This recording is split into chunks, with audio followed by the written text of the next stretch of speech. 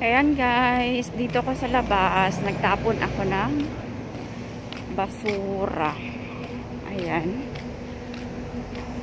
Dito guys. Ayan, medyo malayo rin ang aking tinapunang basura. Ayan.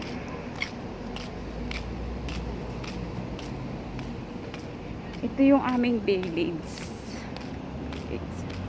Guys, nakita ko ng haring buwan. Para masarap kumanta ng sa ilalim ng puting. Buwan ba yun? Ayan. Kita ko na siya. Ayan guys, medyo malayo yung sa amin. Medyo malayo yung tinatapunan ng basura. Saka guys, tingnan nyo dyan. May munting. Yan, sapa. Ayan, sapa. ilog may ilog ba? Ayan guys. Nandito yan sa amin. Ayan, diba? Ayan. Ayan yung mga building. Ayan.